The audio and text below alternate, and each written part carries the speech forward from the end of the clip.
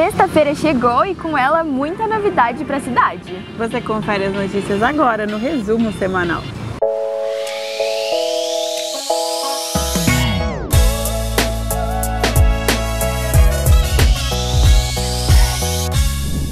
Novo ponto para as trocas solidárias de ingressos para o Suzano Fest. Agora, os munícipes podem trocar os seus alimentos todos os dias na Arena Suzano das 8 às 18 horas. Alexandre Pires, Lua Santana, Simone Mendes, Patati Patatá e Capital Inicial te esperam.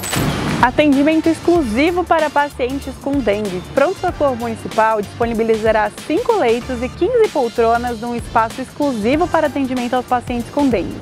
A UPA 24 Horas também contará com espaço destinado somente a pacientes que necessitarem dos serviços relacionados à doença. Prazo para adesão ao Refis termina dia 28. Munícipes que ainda não renegociaram suas dívidas junto à Prefeitura podem se dirigir aos centros ou acessar nossas páginas virtuais para iniciar o processo.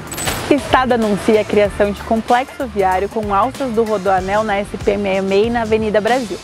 Foi assinado nos últimos dias o projeto executivo para a construção do complexo viário do Alto Tietê, que inclui a implantação de alças de saída do trecho leste do Rodoanel Mário Covas, em Suzano, a construção de uma passarela acessível para pedestres e outras alterações da malha viária da região. Para continuar acompanhando essas e outras novidades, fique ligado nas nossas redes sociais. Até a próxima semana. Tchau. Tchau.